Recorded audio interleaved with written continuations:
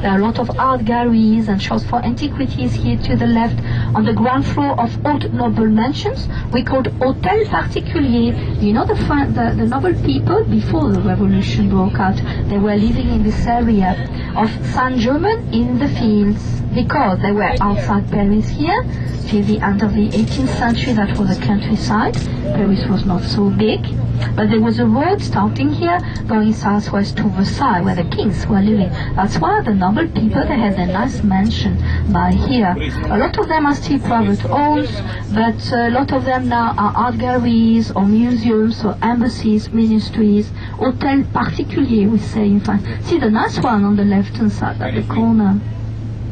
Saint-Germain-des-Prés to the left is famous for the artists living there next to the Saint-Germain church, an old Romanesque church from the Middle Ages. So if you have a walk in this area to the left, you find the Café de Flore, Les Deux Magots, and, uh, and the Procope. Anyway, oh la la, he is foolish, this man, to pass when it's not his turn. Aye, aye, aye, voila.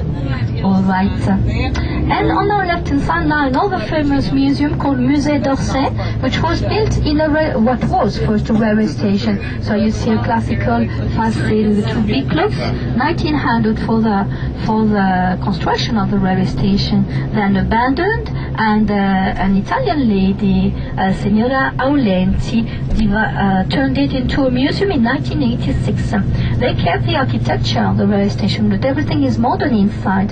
The entrance is here to the left-hand side, Musée d'Orsay, 19th century art. So if you like the Impressionist painters, you know, Van Gogh, Claude Monet, Renoir, for example, you have to visit the Orsay Museum. In the Louvre Museum, we just passed by to the right, there are exhibitions from the uh, from the antiquity, Egypt, Roma, Greece with the Venus of Milo, and then from the Middle Ages to the beginning of